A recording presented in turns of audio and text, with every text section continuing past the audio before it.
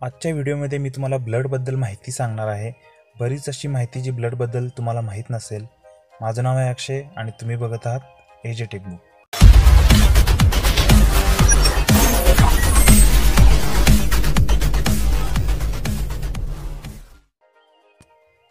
आपल्या बॉडीचं जे वेट आपण चेक करतो त्यामध्ये सात पर्सेंट वेट हे फक्त ब्लडचं असतं आणि उरलेलं आपल्या बॉडीचं असतं.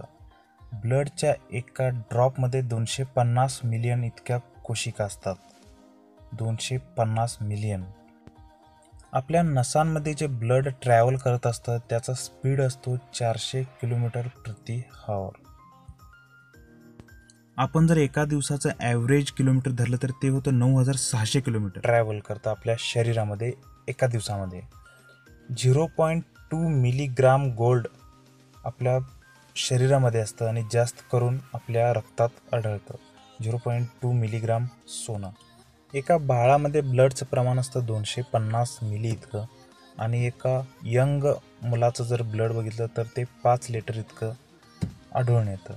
चार टाईप्सचे ब्लड माणसांमध्ये दिसतात. ओ ए बी आणि ए बी. यामध्ये पॉझिटिव्ह निगेटिव्ह हे असतं पण मेन हे चार प्रकार आहेत.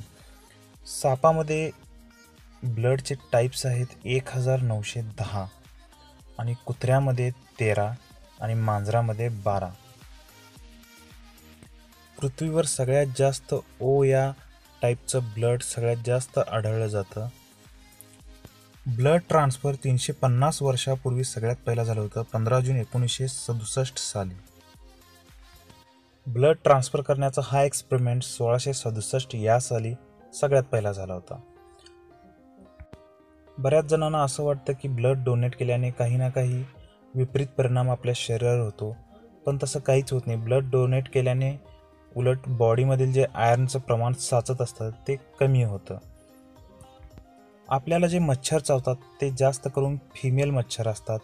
फिमेल मच्छरच माणसाच्या शरीरातील रक्त पितं आणि नर मच्छर गोड पदार्थ किंवा कचऱ्यावर जिवंत राहतं. मादा मच्छर त्याच्या वजनापेक्षा तीन पट जास्त रक्त पिऊ शकतं.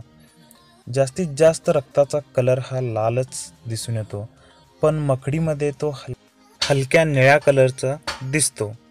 शार्कमध्ये एकशे नव्वद ते दोनशे दहा लिटर इतकं ब्लड असू शकतं तर हत्तीमध्ये फक्त पस्तीस ते पंचेचाळीस लिटरच ब्लड असतं.